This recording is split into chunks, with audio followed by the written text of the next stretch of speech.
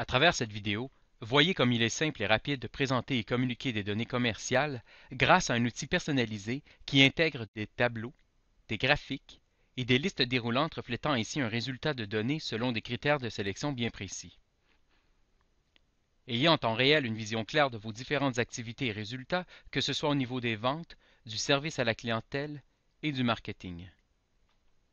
Voyez maintenant comme il est simple de se créer soi-même un tableau de bord personnalisé. En tout premier lieu, sélectionnez le modèle désiré. Pour chacune des fenêtres comprises dans ce modèle, sélectionnez les différents critères qui seront comparés et qui mettront ainsi en avant les informations pertinentes que vous souhaitez consulter.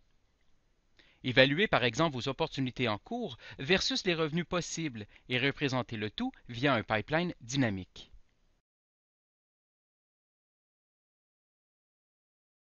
Comparez les revenus estimés de vos opportunités en cours pour chacun des membres de votre équipe de vente. Suivez vos revenus estimés et gains réels selon une période désirée.